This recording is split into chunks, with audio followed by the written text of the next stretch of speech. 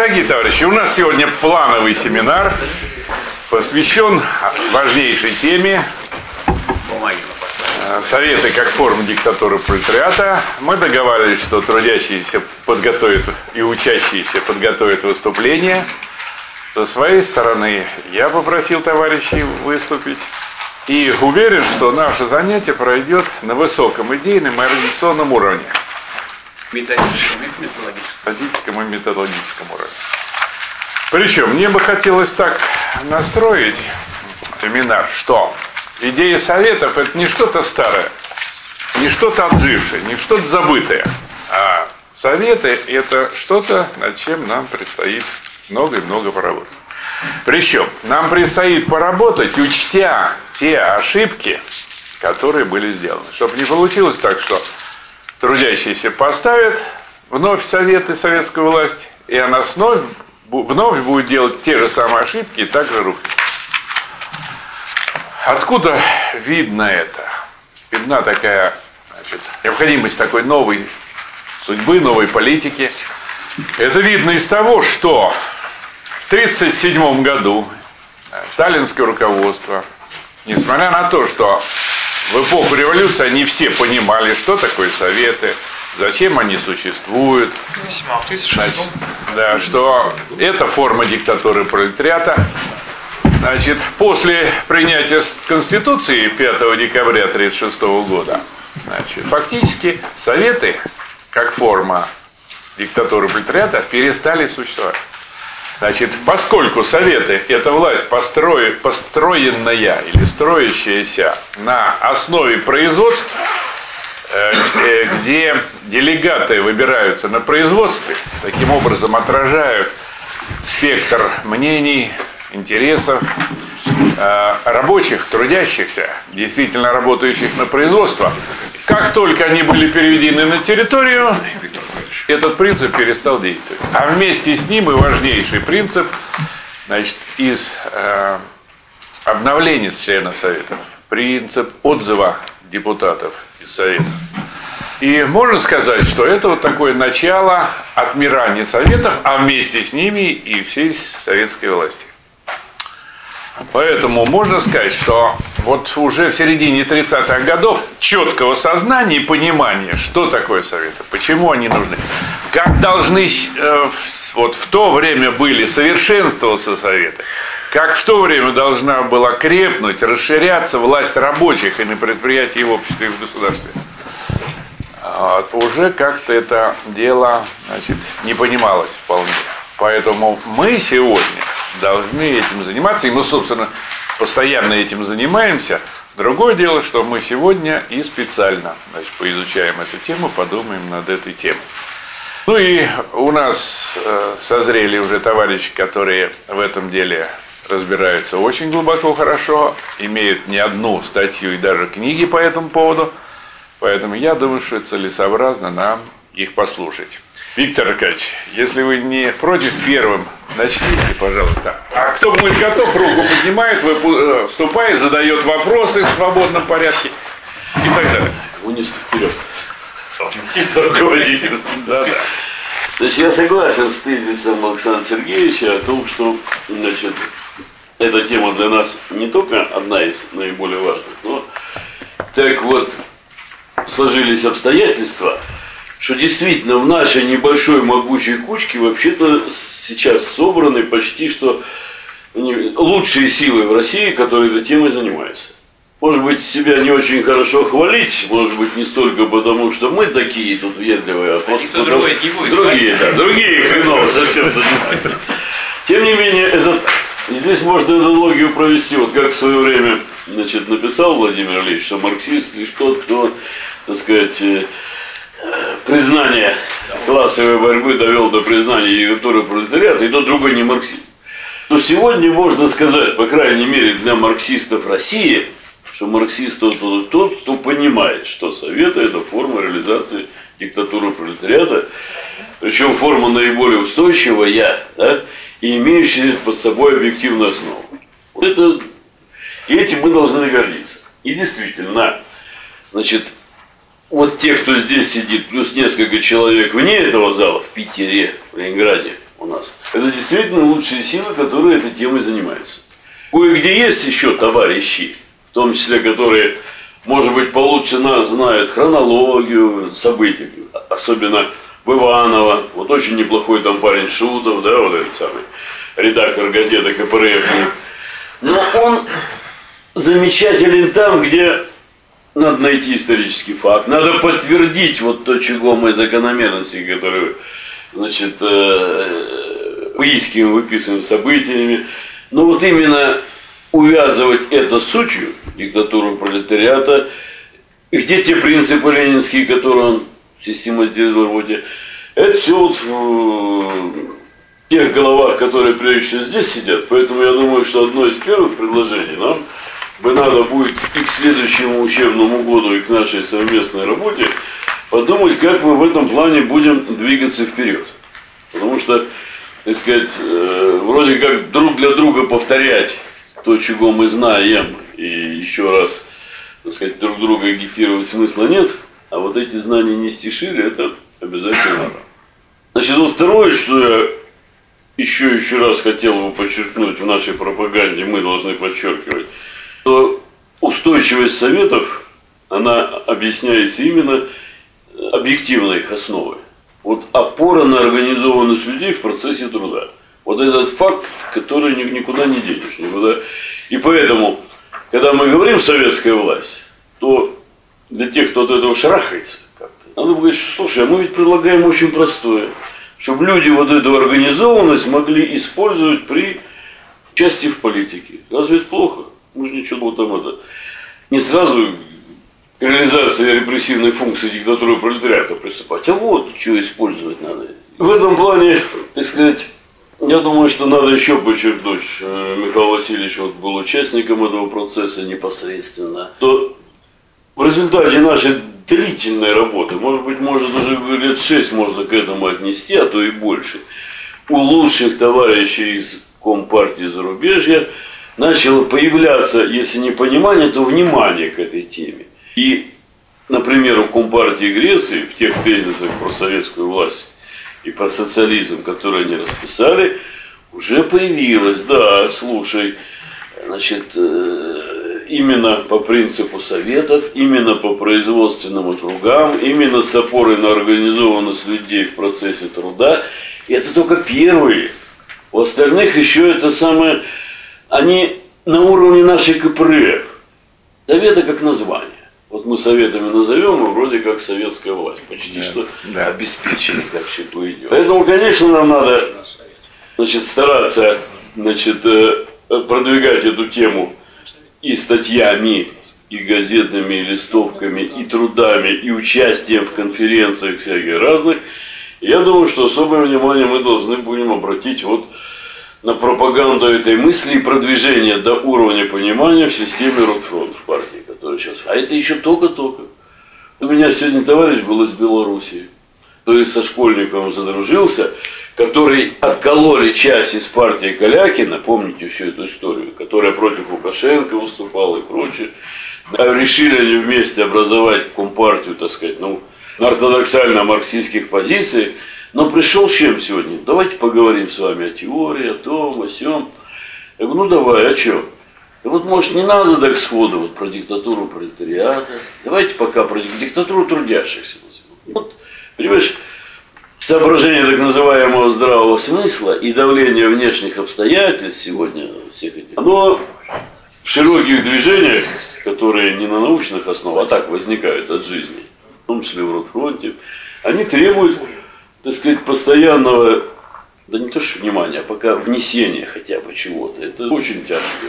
Здесь сходу, так сказать, не возьмешь за грудки, там, как в партии. Ты почему не прочитал Ильича и не признаешь, не доводишь признания классовой борьбы до диктатуры пролетариата, так является.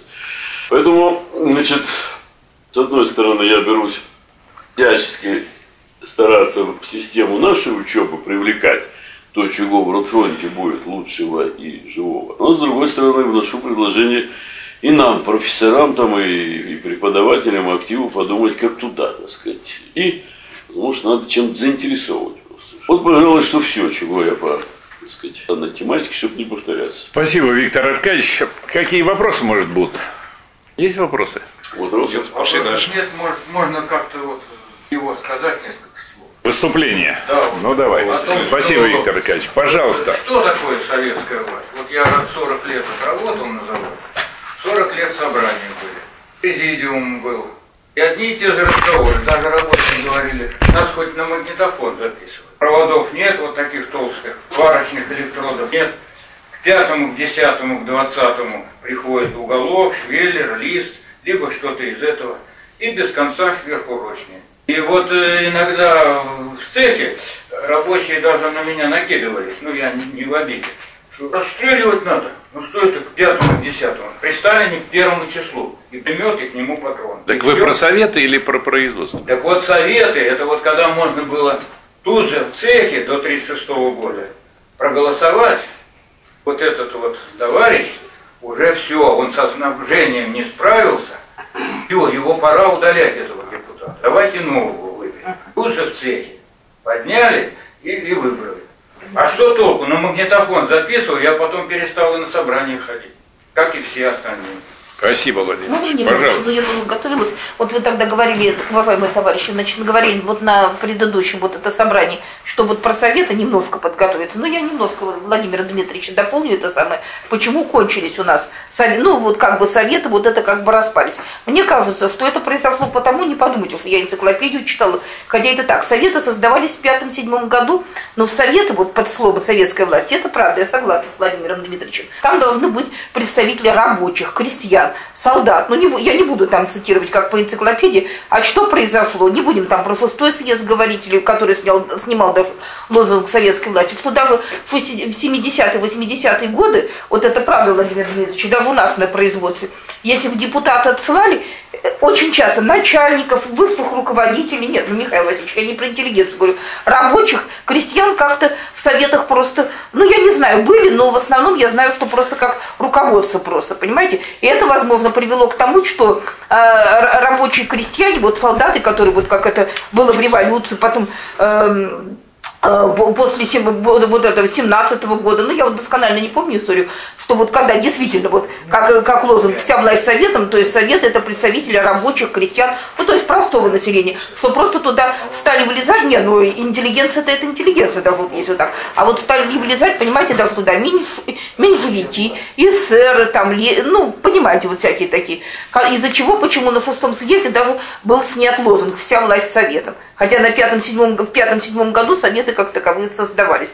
Просто вот, вот мое мнение, почему вот советы как бы прекратили существование, что туда много кто стал, понимаете, пролезать, вот реально. Которые потом отошли к Ельцину и туда дальше. Это я вот вкратце. Спасибо. Ну, во-первых, здесь надо сказать, что рабочие и крестьяне в советах были до самого последнего времени. И, скажем, если посмотреть статистику, даже вот тут, 36 года, 50-е, 60-е года, то во всех уровнях, значит, 50, 50, 51, 49 процентов занимали рабочие и крестьяне. То есть половина была совершенно четко. Теперь, что касается последних Верховных Советов и съездов Советов, то там комму- коммунистов было 85%. Тем не менее, это не помешало им принять значит, антисоветские, антикоммунистические Членов КПСС. да, членов Коммунистов КПСС. Да, хорошо, да, да. Вот. Ну и мне кажется, что действительно, вот одна из трудностей, которую подчеркнул Виктор Аркадьевич, состоит в том, что э, действительно нужно развести в сознании людей слово советы, всем знакомое, известное, понятное, и понятие У советы. нас сейчас страна советов, все советы. Да, все вот так шутили в анекдоте, дескать. У нас страна советов, все советуют друг другу. Теперь совет старейшин там где-то был в древности, там военные советы, совет в филях, вот знаменитый этого самого. Кутузова, ученый совет, совет труда и обороны и Совет так народных далее. депутатов Кузбасса. Да, везде совет, совет, советы. Так о чем Совет идет речь? директоров. О чем идет речь? Что собрались, да, вот сейчас есть совет директоров. Собрались, назвались советами и все. Нет, совет Не в этом дело. А дело в том, что значит, это, этот, эта группа людей, совещательный орган, и руководящий потом руководящим становится органом, значит, что он формируется из работников данного предприятия, из рабочих данного предприятия. Это не мешает в этот совет включить тех специалистов, инженеров, там, может быть, ученых каких-то, которые, в которых рабочие уверены, что эти интеллигенты защищают их интересы, защищают последовательно, и они могут свой совет кооптировать, или, скажем, не свой на предприятии, в районный совет, или там в областной, или еще куда-нибудь. То есть не, не стоит иметь в виду, что вот там будут поголовно рабочие, а интеллигенции там будут от футбола. Ну и что касается партий, то вот сейчас мы как раз хорошо видим, что с одной стороны есть потребность, э, чтобы партии помогали профсоюзам. Любые, помогите, пожалуйста. Но так особой-то помощи нет. Партии не рвутся ни в профсоюзы, ни на производство. И там соперников или конкурентов у нас нету. Наоборот, сказать, пожалуйста, приходите, помогите. Ну а те партии, которые здесь проявят себя хорошо по-деловому, естественно, они получат авторитет в советах на уровне предприятий, значит, а если на уровне предприятий получили авторитет, значит, пойдут и в районы, и в города, и в Да, Верховный Сергей, Совет. вот только такой вопрос. А вот как в Китае, я вот несколько раз лет назад вот просто слышала, ходила, вот, ну вот, ну, коммунистам вот было открыто такое собрание, говорили, вот компартия в Китае, например, вот в данный момент, хотя там не, с- ну, совет, не совсем советская власть, она, тем не менее, контролирует, насколько я понимаю, деятельность вот э, производств всего, чтобы реально не распадалась. Вот у нас, допустим, может компартия, вот хотя бы, допустим, вот Зюганова, да, КПРФ, да, вот она как бы властвующая, да, она может хотя бы, ну, то есть, э, ну, вы понимаете, она, она может хотя бы это контролировать, то, что идет спад производства, кризис, она нет. А вот в Китае компартия, она как таковая контролирует, вот, потому что я вот слушала, вот, вот, вот давно это еще было. Спасибо. Михаил Васильевич, по-моему, имеет хороший ответ на этот вопрос. Понятно. Михаил Васильевич. Я хотел бы сказать, что мы взяли такую проблему, которая не является темой одного, которую нельзя поставить рядом и сказать, что вот такие проблемы, такие, такие, а вот проблемы. Я думаю, что все, что мы делаем, все, что мы делаем в порядке теоретической подготовки, необходимо для того, чтобы советы не были, члены советов, депутаты советов не были кивалами. Если они будут кивалами, то эти советы также могут сгнить. Да, это во-первых. Во-вторых, во-вторых, э, дело в том, что сама эта проблема, ну, говорю с Виктором Аркадьевичем насчет того, что нам все ясно, потому что она у нас мало изученная. Почему? Ну вот, даже вот в том варианте, когда товарищи из Беларуси говорят, давайте советы даст трудящихся, действительно, вот выйти к народу и сказать, давайте, кто за диктатуру пролетариата, я думаю, очень мало будет пойдет людей. И если вы в 17 году вышли и сказали, давайте диктатуру пролетариата, и не с такими лозунгами. То есть вот э, что такое которую говорят, это сущность. А сущность это то, что глубоко. То, что, в общем, даже и не все и понимают. А что такое совет? Это выявленная сущность. То есть действительно диктатура пролетариата. Если нету вот этой самой советов, нету диктатуры пролетариата. Сколько угодно можно книжки писать на эту тему, выступать, и нету этой, самой- этих самых советов. Поэтому, а что такое выявленная сущность? Это действительно, что мы можем сказать вот про советы? Что же это такое? То есть, э, вот мы все время ищем формулировки, как все-таки, в каком соотношении находятся советы, советская власть диктатура пролетариата. Я к стыду своему хочу сказать, что я через 30 подготовки к печати сборника, главное в ленинизме, вдруг в двух местах обнаружил, что у Ленина говорится однозначно, что это организационная форма диктатуры. Такое понимание в корне меняет дело. Если это организационная форма, то если у вас форма не такая организационная, то у вас не будет никаких советов. Поэтому если люди там за социализм, за коммунизм, за все, что хочешь, но они не согласны с тем, чтобы депутаты были производство, и чтобы опора была на производство, не будет ни социализма, или будет временный социализм, временный коммунизм. У нас, так сказать, временный быстренько разваливается, особенно там, где это вот не было на большом корне. Это во-первых. Во-вторых, что надо принять во внимание, раз это форма, диктатуры пролетариата, то в форме есть то, что противоположно диктатуре пролетариата. Мы ее отрицание. Поэтому вот так э, все-таки ставили большевики вопрос, что мы, если там большевики, то мы за совет. Если там не большевики, то мы против. Мы за советы были и тогда, когда там были меньшевики и эсер. Почему? Это вот то поле, то поле, если это организационная форма, по сути своей, диктатура рабочего класса, это значит, это та форма, где партия рабочего класса там выиграет в конечном итоге и может выиграть. может получить большинство. Осуществлять может с помощью этих советов диктатуру класса, а не диктатуру партии, которую предлагал Зиновьев. Да, так сказать, он и предлагал партии, так сказать, всерьез. И еще Сталин ему объяснял, что все-таки не класс для партии, а партия для класса. Так вот, в форме советов может идти борьба, могут быть мишеры, и вообще без борьбы вообще ничего не делается. И мы не должны так приготовиться к тому, что вот если будет совет, то и закончится борьба. Борьба-то и начнется в советах. За что? За постоянную, постоянная борьба за то, чтобы рабочий класс и в советах действительно имел власть. Но в советах эту борьбу выиграть можно, а в парламенте эту борьбу выиграть никогда еще ни один вопрос, глубокий вопрос жизни народов не был решен в парламенте. Об этом Ленин сказал. И никаких исключений, никаких исключений история нам не дала. Поэтому э, можно сказать, что советы – это форма разрешения противоречий. Причем такая форма разрешения противоречий, которая благоприятна для утверждения и развития диктатуры пролетариата. А другие формы, они тоже формы разрешения противоречий. Вот неплохую систему создали в 30-е, 40-е годы, систему управления. Но эта система не диалектическая. Вот придет болван или предатель, как Хрущев. И это огромная централизованная система, которая прекрасно работала при Сталине, крутится прямо в противоположную сторону и начинает разрушать всю страну. И если пришел такой негодяй, как Горбачев в КПСС, то, значит, нету никаких таких серьезных противовесов, вот мы участвовали.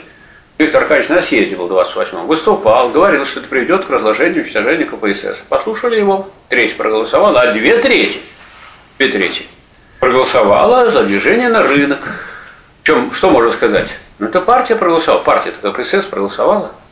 Кто-то там из-за границы приехал и нам навязал капитализм. Извините, КПСС. Значит, как же такие вот, как устроена была у нас политическая власть, что две трети членов съезда проголосовало за движение на рынок, за движение по существу капитализма и в частной собственности. И наоборот. А вот те люди, которые стояли на почве марксизма, оказались в меньшинстве. Вот нам такая форма организационная не нравится, когда люди, которые стоят на позициях рабочего класса, в меньшинстве. Мы выступаем за такую организационную форму, где рабочий класс может и рассчитывает, и может получить, и легче получить большинство. Потому что в любом случае за власть надо бороться, причем постоянно. За удержание власти все партии борются, в том числе буржуазные, но они борются за удержание власти своего класса. Партии рабочего класса нужно бороться за удержание власти этого класса. А если эта вот организационная форма нарушена или разрушена, значит шансы резко падают вниз, и, так сказать, долго удержаться власть не может. Я хотел бы привести пример биологический. Вот кожа. Кожа не главное в человеке, правильно? Потому что есть сердце, есть мозг, что там выше. Если 60% кожи обожжено, человек умирает. Сами по себе советы. Ну, это, так сказать, как бы беспартийная организация, правда? Там же могут быть представители разных партий, люди с разными взглядами, с позициями и так далее. Ну а партии, партии это вот единицы, которые, без которых вообще сами советы ничего дать не могут. Тоже. Если, так сказать, там партии не будет рабочего класса, то есть не будет у рабочего класса головы, то рабочий класс победить не может и не может, главное, свою победу удержать. Без советов то же самое. Это как бы вот то, что, конечно, э, представляет собой дальнейшее, так сказать, развитие. Дело в том, что если есть только интеллигенты хорошие, которые ходят в партии, правильные вещи пишут и говорят, это очень приятно для этих интеллигентов. Вот Марс и Энгельс все время писали, писали про капитализм и коммунизм, но никогда не жили ни при коммунизме. Никогда. Вот Марс жил при капитализме, написал «Капитал». Что тут такого? Был Ленин, написал развитие капитализма в России. Что тут такого? Империализм. Да, и написал империализм как высшая стадия капитализма. А что тут, собственно говоря, такого? То есть, вот вопрос. Вопрос в том, что вот действительно э, создано было другое совершенно общество. Как его удержать? И я согласен с Александром Сергеевичем, что это главная проблема для коммунистического движения сейчас. Если вы не собираетесь обдумать, как советскую власть сохранить, и хотите на новый круг пойти, как говорится, на, на новый, снова еще раз, на посадку, которая кончится тем же самым, то лучше это не начинать. То есть, чтобы такое начинать, нужно как следует обдумать. Разбитые армии хорошо учатся.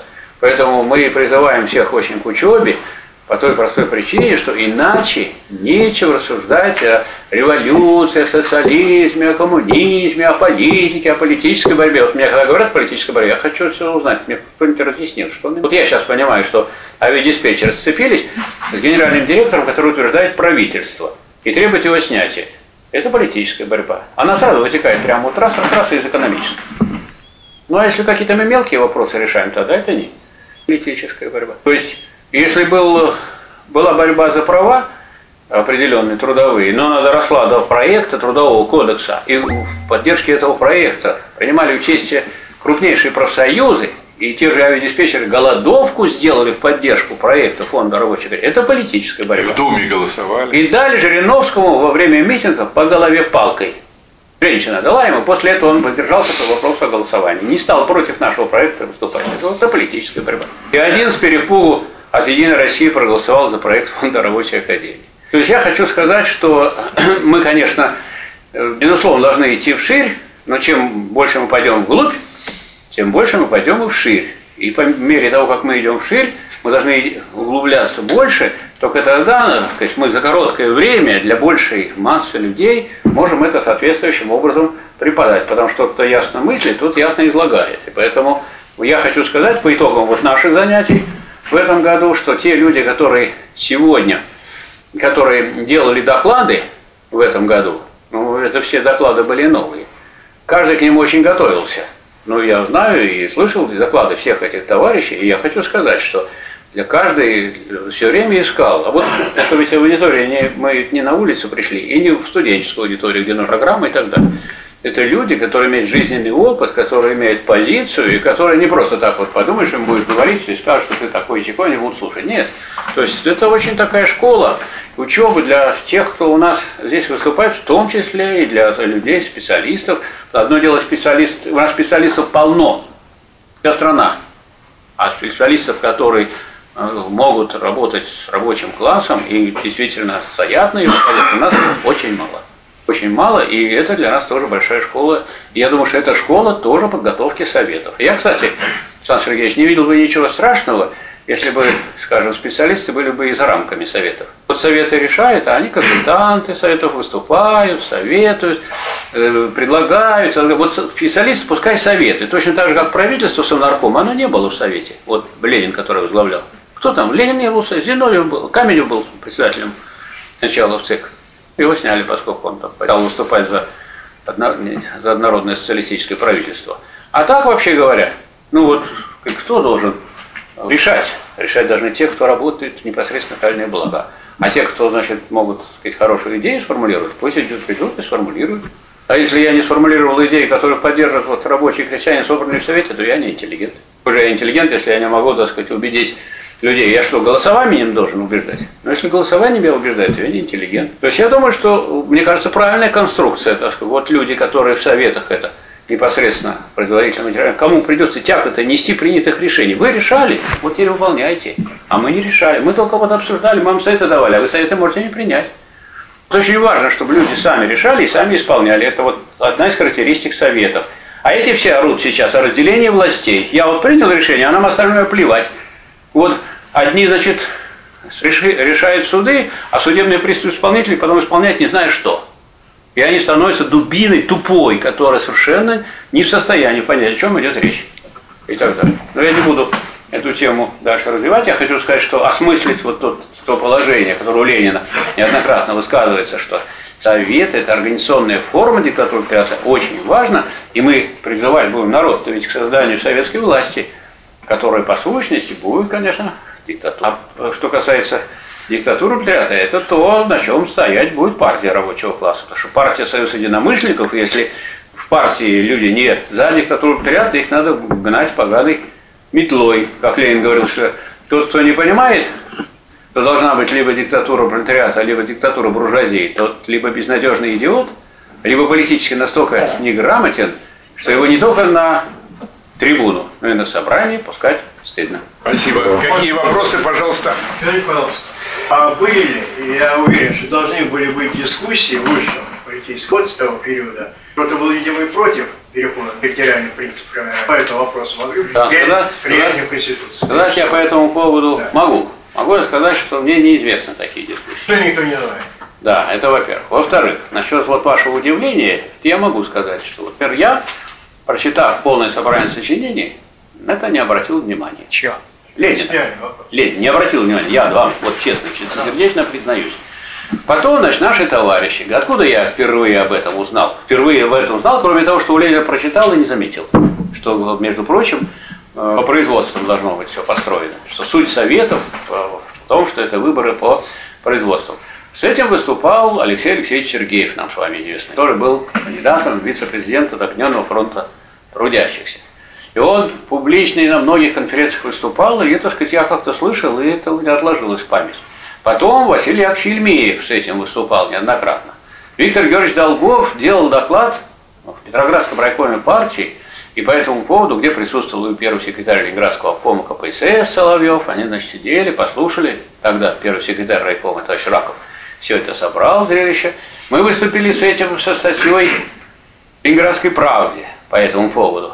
И вот меня товарищи попросили, говорят, ты вот прочитал Ленина, ты можешь посмотреть, где у Ленина? И я тогда сделал соответственно порки и удивился как на эту тему все. Как можно вот так вот читать и не заметить? То есть я, из этого я сделал вывод, что, что вот, скажем, вот представителей партийных, я так думаю, это было не, это не ревизионизм. То есть дело не в том, что люди сознательно, так сказать, поменяли, а в том, что это... Где вот даже Ленин, ну Ленин, где закрепил? Он в программе закрепил? Только в программе. А где, в каком документе? Вот у нас э, издана большим тиражом газета про социализм «Народная правда». Мы ее раздаем, там добыли мы инструкцию о выборах своим коллективом. Между прочим, инструкции такие вещи интересные, что явка должна быть 30% достаточно.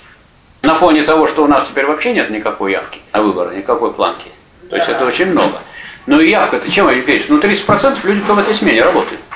Совершенно нормальным, естественным путем. Люди вот есть, пришли на работу. Вот работа их организовывать, чтобы они осуществляли свою власть. А не то, что придите сюда, вот сюда вот пришло, допустим, 20 человек. А если бы в цех мы пришли, там было бы 200 человек. В этом и разница, если бы там это все проходило. Поэтому, ну вот с этой точки зрения надо сказать, что освоение вот этой темы, этой проблемы о том, что такое советы, оно только начинается. Но еще не... И э, я думаю, что то же самое, что с нами происходило, с нами, происходило и раньше. Только нас э, просветляет события, контрреволюционные события в СССР и предательство КПСС. Это нас просветляет. А тех товарищей, которые тогда были в 1936 году, их успехи, которые были, ослепляли. Все хорошо, наши люди из рабочих пришли, какие тут, что тут думать, вот они, это у нас есть наши красные командиры, у нас наши красные наркомы, все красное, все красное, а потом оказалось, что в середине белое. Надо было юридически... Михаил Васильевич, Да. пару слов вот про Китай. Был такой вопрос по Китаю. Как там с диктатурой пролетариата, с советами? Значит, вы же знаете, что Китайская коммунистическая партия вела очень большую полемику после 20-го съезда с КПСС. Стороне от имени КПСС эту полемику вел товарищ Суслов.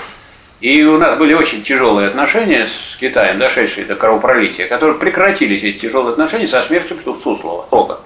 Вот Суслов умер, на следующий день стали хорошие отношения. Из этого видно, что вот это и есть тот самый негодяй Суслов, который отставил идею выкидывания пролетариата. Вот. Что касается Китая, Китай тогда очень сильно подчеркивал. Сейчас что-то Китай не очень подчеркивает. Китай в документах последнего съезда везде про рынок, про социалистический рынок. Поэтому он начитался многих всяких произведений, и неизвестно, куда эти произведения его приведут. Но там сохраняется то, что было выброшено вот в период выбрасывания всех основных звеньев диктатуры пролетариата. У нас, скажем, было право контроля за деятельностью администрации на предприятиях у КПСС, партийной организации. Партийная организация принимает решение и снимает генерального. Ну, то есть там еще есть процедура там. То все, на это уже гарантия, что его снимать. Право контроля очень сильное было. В Китае при всех этих частных собственностях и при всем партийные комитеты контролируют всю хозяйственную жизнь. Поэтому там товарищ Кудринов даже сказал, что а, в Китае-то они могут принять решение, и тогда так и будет. А у нас могут принять решение, только ничего не будет. В этом и разница. Поэтому в Китае есть, конечно, элементы, так сказать, диктатуры. Я пытался найти, когда был в Северной Корее, пытался найти какие-нибудь там поближе следы, нет ли там советов, не нашел. Но э, это вот закрытая для нас тема, потому что китайский язык сложный.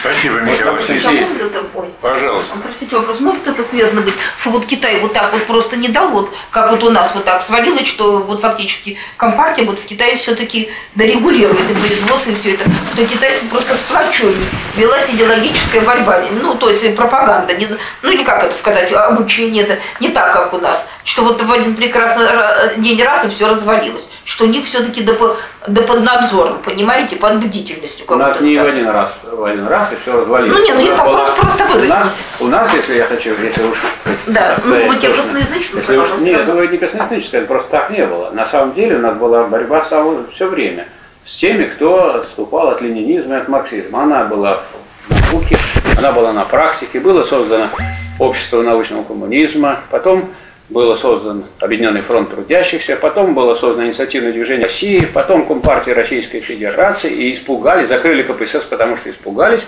КПС, КПРСФСР в своей программе действий о ревизионистского не имела, я хочу сказать. И мы вот здесь присутствующие принимали участие в составлении этой программы. Виктор Аркадьевич, ЦК КПРСФСР, Виктор Георгиевич Долгов летом сидел, писал программу поллета, я на вторую половину приезжал. Там не было никаких этих, и поэтому нужно было... Они думали, что они во главе с КПСС, как вот сейчас вместо Единой России, пойдут. Не получилось так, им пришлось. Пришлось закрывать КПСС. Поэтому не так было, что в один прекрасный момент ничего не развалилось. Мы потерпели поражение. Но силы, которые разваливали Советский Союз, это были большие контрреволюционные силы, вызревшие в нашей стране. А вот почему они вызрели, это мы и обсуждаем. Если вы, как вы, значит, если вы не будете иметь советы, они будут вызревать даже при социализме. Очень здорово. Потому что почва для этого есть. Спасибо, Михаил Васильевич. Все, все вопросы. Можно еще? Значит, советы... Это выступление или вопрос? Нет, это выступление. Если вопросы, то Я пока спрашиваю А вопросы. к кому вопросы? Так, все вопросы? Все. Я хотел бы сказать, что отзыв потеряли, значит, и советы потеряли, и формы. Ну, не значит. Это микровыступление. Так, кто хотел бы выступить? Вот, товарищ. Вот я немножечко дополню э, Михаила Васильевича. Вот э, он вот правильно говорил, что это система создана не диалектическая, но на самом деле, в общем-то, ну да, на тот момент она была. Правильно, вот то, что в 30-е годы, так сказать, была система управления, на тот момент она отвечала потребностям, вот, и, так сказать, потом, впоследствии уже Сталин понимал уже после войны, в начале 50-х, и он э, пытался это дело менять. Много и не успел, только и всего лишь. Э, Вот, он, как марксист и диалектик, э, он это, как говорится, не беспокойтесь, понимал. А вот насчет юридического закрепления, вот вы говорите, однажды профессор Огородников Владимир Петрович привел замечательный пример из путешествия Гулливера, когда он уезжал э, из страны лошадей, вот, был аудиенцем главной лошади. И, так сказать, и он спросил, как у вас с урожаем овса? Он, и она ответила, что, вы знаете, раньше, как говорится, было плохо, год на год не приходился, а потом уже мы, так сказать, издали указ о том, что урожай будет нормальный все время, и, как говорится, с тех пор мы проблем не знаем. То есть, вы вот э, о том юридически, э, не надо впадать в то, что вот мы записали, и, значит, все прекрасно. А что записывать? Э, Отзыв-то вот- потеряли, вот отзыв. Отзыв, э, так сказать, отзыв был до 70-х годов, отзывали. На, на самом деле отзывы были. Э, так сказать, но дело не, дело не в том, я говорю, дело не, дело не в том. Дело в том, что это не нужно уповать на, так сказать, э, юридическую запись. Я почему и привел пример э, такой, что, э, так сказать, записали, успокоились. Законов можно напис- написать и на- принимать кучу. Вот, э, так сказать, э, Юрий Мухин пробивает закон об ответственности власти перед народом. Прекрасно, я бы на месте правительства даже принял бы. Только не выполнял. Вот и все. Так вот и есть законы, есть, но... За- Законов полно и очень хороших. Ну, в принципе, та- так что э, дело не, не- не в этом. да. На тот момент, на тот момент, видимо, это было, так сказать, наиболее рациональный э, способ. Да, конечно, потому что, так сказать, это тем самым расширялась, так сказать, база. Вот так- таково мое мнение. Вы хоть хотите выступить? Да, я хочу Пожалуйста. выступить. Значит, здесь вопрос в чем стоит? Почему вот наша советская власть, да, тогда, когда она была советской, государство диктатура пролетариата, оно не выполнило своей главной цели – построение полного коммунистического общества и ликвидация государства любого. И речь идет о ликвидации государства. Значит, государство, оно откуда идут истоки разложения руководства, расхождения государственной власти. Дело в том, что при разделении труда, когда имеет место разделение труда между людьми, и имеются специальные люди, управленцы, у этих людей совершенно объективно имеются интересы, отличные от интереса трудящихся, от интереса рабочих. И корпоративное, и личное, ну это объективно так существует. Значит, и здесь вот говорят, что вот надо выбирать таких людей, каких-то особых людей, коммунистов, особо преданных, которые вот эти интересы, значит, свои отодвинуты, которые будут, невзирая на эти интересы, продвигать интересы рабочего класса. Но вот от этой позиции оно вот веет немножечко утопизмом. Вот здесь мне по рассылке пришел хороший материал по Северной Корее. Вот Северная Корея это наиболее в нынешнее время считается жесткое социалистическое государство с жестко централизованной экономикой, где вот нет элементов рыночной экономики и так далее. Там говорится, что в последнее время там вот какие веяния появились. Вот предприниматели. Там достаточно большой, утверждают авторы, там Сеур там сбежал какой-то. И, в общем-то, это похоже на правду. Достаточно большой сектор частного предпринимательства. Как там это организовывается? Очень просто. Человек пригоняет, скажем, из Китая 7 грузовиков. Эти грузовики, этими грузовиками владеет, на них сидят его работники, он там возит чего-то, грузы перевозит. А как же так? Там же нет частного бизнеса. А эти грузовики, они формально числятся. Если на государственном, частном предпри... на государственном предприятии, то 100 долларов в месяц директору с грузовика. Если в войсковой части, 200 долларов командиру части за грузовик в месяц. И ездят вот военные или государственные грузовики, а на суть, по сути они частные. И по ряду косвенных признаков можно судить, что у нас в стране, по крайней мере, в 70-е и 80-е годы, а возможно и всегда, где-то что-то такое вот был какой-то неучтенный сектор, но в частности доказательством этому служит страшное, злобное сопротивление внедрению систем автоматизированного учета. Это очень большая была борьба, и она кончилась, в общем-то, поражением сторонников внедрения таких систем. Это тоже показатель. Вот. И вот если посмотреть на это разражение, вот когда оно началось, вот Кочетов в романе «Молнии бьют по вершинам», он упоминает, что еще в НЭПе, период НЭПа в Петрограде, 23-24 год, вот у государственных фабрик стоят откровенно грузовики, затариваются там продукции этой фабрик и везут продавать на рынок куда-то в неповские равки, там за дефицитной продукции по госценам, везут продавать по рыночным ценам, как у нас было в конце 80-х, один к одному. Я поразился, как Кочетов вот мог, умерев в начале 70-х годов, вот, предвидеть так, что у нас будет в конце 80-х. Естественно, это не могло существовать без, как бы сейчас сказали, ментовской крыши, ГПУшной крыши, обкомовской крыши, в конце концов. И там же описывается, как вот Зиновьев проводил так называемые спевки, мероприятия в обкоме, куда приглашались коммунисты, там пьянки типа были. Вот «Молния бьют по вершинам», неоконченный роман Кочета. Очень он в этом смысле такой хороший. И вот, тем не менее, вот и действительно, это вот показатель того, что юридически, юридическое, конечно, оно, чисто закрепление в законах, оно не дает гарантий от перерождения в условиях разделения труда. И почему для нас сейчас эта тема, даже вот еще когда нам вроде до взятия власти очень далеко, и э, для нас столь актуальна? Потому что то же самое происходит и в профсоюзах мы видим. Люди загнивают в профсоюзах, еще вчера вроде бы казавшиеся достаточно надежными. И, в общем-то, этот процесс, несмотря на то, что там вроде как юридически все это можно решить, провели собрание по бригадам, постановили там переизбрать председателя правкома и переизбрали. Вроде бы там это все так и собрали конференцию. А вот опять же, а кто будет собирать конференцию? Кто здесь имеет преимущество? Рядовой какой-то инициативный работник, которому не нравится, что правком загнивает? Или люди из того же правкома, которые освобождены и которые имеют время и зарплату немаленькую, и они только занимаются вот всякими вопросами бюрократическими, созыва той же конференции и так далее.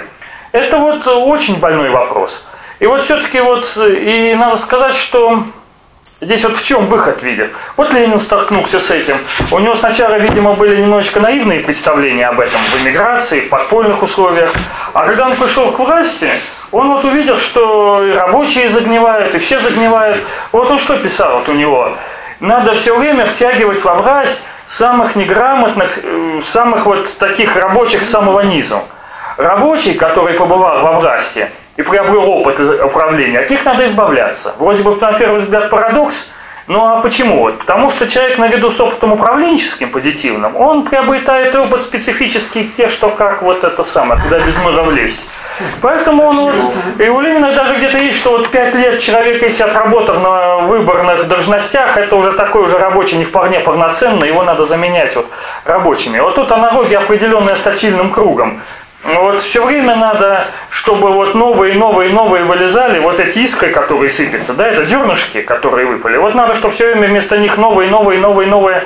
И без этого вот максимально широкого втягивания, втягивания все новых и новых э, трудящихся, ну, новых и новых рабочих управления, без этого, без буравливания вот этого вглубь, никуда не деться. И у нас тоже определенные ошибки были. Если мы вот говорили, что вот надо искать рабочих лидеров, умных, значит, таковых, с ними работать, их растить. И э, вот, так сказать, умные лидеры, вот э, Юрий Львович Рысев, ну да, он, так сказать, сейчас ведет определенную работу, пытается, он старшим преподавателем сейчас работает у нас в политехе. Но тем не менее, вот у него были, он большой очень человек, он вообще смелый, опытный, умный, энергичный. Если бы он бы, скажем, э, не к нам в политех ушел, а стал председателем цехкома докеров, самой крупной компании порта, первый стивидорный, там была бы другая обстановка, возможно. Вот. Но он вот почему-то, кто там с ним какие беседы вел, что там ему говорили, этого мы не знаем, но вот тем не менее, вот э, имеем то, что имеем. Он там в портон сейчас не появляется практически. Ну да, он на Ленинской конференции бывает, он, у него убеждения сильные, он интересуется этим всем. Но вот тем не менее, вот, э, а вот с зацеплением вот этих широких рабочих масс у нас туго дела обстоят. Все, прошу прощения. А Может быть, вопросы будут? Вопрос, Пожалуйста. Можно вот мы сейчас говорил про Корею. Вот не будем затрагивать там Кубу, Китай. Вот сейчас осталось фактически так мало стран. И- Нет, Иван Михайлович об этом не говорит. Нет, понятно, я не про это. Я хочу спросить, Северная Корея удержится на позиции социалистической? Это не его проблема. Я Он думаю, я не думаю, говорит. что сейчас там подпора какого-то... Я дело не в давлении извне, дело вот в этом вот внутреннем раздражении, которому вот я просто вот на кафедре даже у нас сталкивался. Вот э, придя на кафедру и будучи заведующим гаражом в 89 году, я вот столкнулся с тем, что и воровство у нас там определенное было, и то, и все. И сейчас вот я вижу, что вот мои товарищи, еще даже моложе меня, которые, в общем-то, и достали, можно сказать, прокоммунистически настроены и все такое, сейчас они у нас тоже поднялись, там за фрабом стали. И опять вот это вот все накатывается. Здесь главная опасность для Кореи не снаружи, а главная опасность все-таки вот этого раздражения внутреннего, как мне видится. И пока что, ну, я не владею ситуацией как там, это вот у нас товарищи там были. А это самое, да. Мне что-то кажется, что вот ваша концепция, что давайте неграмотных привлекать, а тех, которые... Неграмотных, а так широко. Ну, Сразу вот у вас так это выталкивать. прозвучало. Ну, Она это прозвучала, революция, надо. Ну, она, а может, и- ну, в культурной революции, что же, так сказать, предки-то наши, они не в вонючих шкурах жили, это и в пещерах. Речь Они идет о том, чтобы такое? Те, Так которые- это у вас выступление. Нет, я вопрос задаю. Ну вот э, здесь, конечно, надо и так тупо нельзя, конечно, что вот обязательно там Попова с Казенновым вышвырнуть на их место, там взять кого-то неграмотного.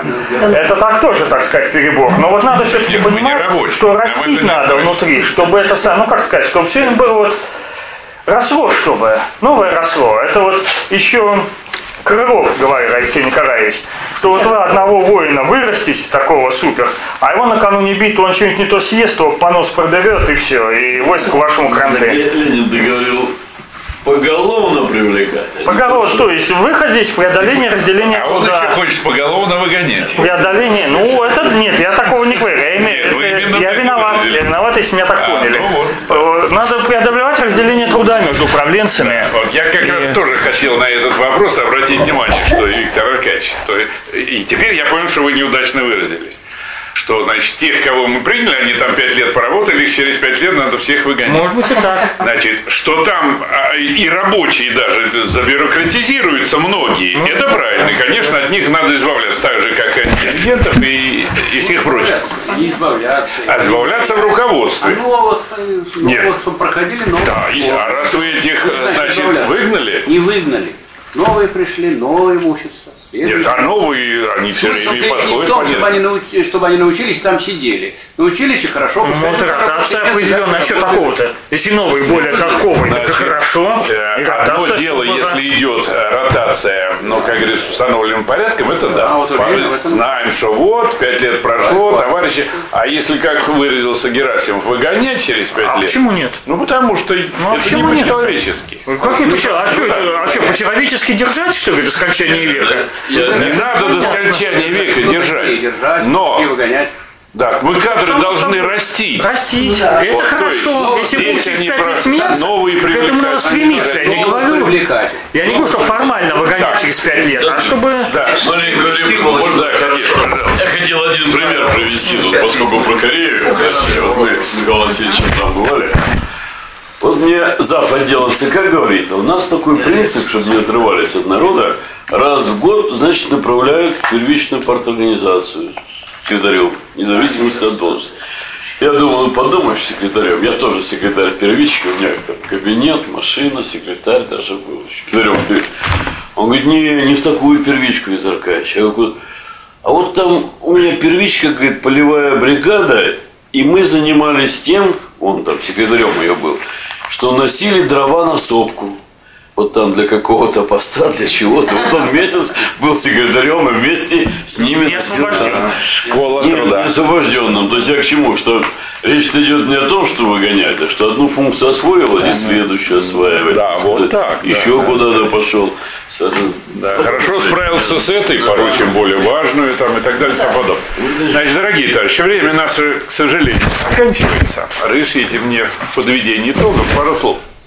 Значит, ну вот дискуссия, она показала и правоту Виктора Аркадьевича, что, конечно, вроде мы этим давно занимаемся, вроде мы тут, если не все, то многое знаем. С другой стороны, э, вот по характеру вопросов, ответов чувствуется, что здесь мы многое не знаем, что нам еще больше нужно познавать. И мне кажется, вот этот пафос выступления Михаила Васильевича, он как раз и говорит о том, что к этому надо отнестись новаторски.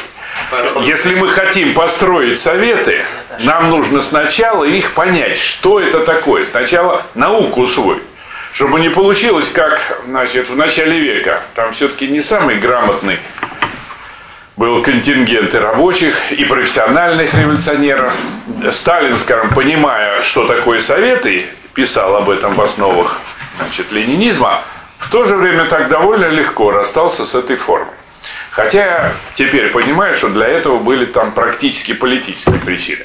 Но вот наша задача, если мы хотим строить советы и построить их в конце концов, и чтобы они потом были жизненные, а не погибли снова через там, 50-70 лет, мы должны это очень хорошо изучить. Я думаю, что значит, это очередное наше занятие, оно сослужит в этом хорошую службу. Если нету возражений, Нет возражений. Вся власть не погибающим советом. Это большая тема, потом поговорим, ладно? Да, мы уже завершили.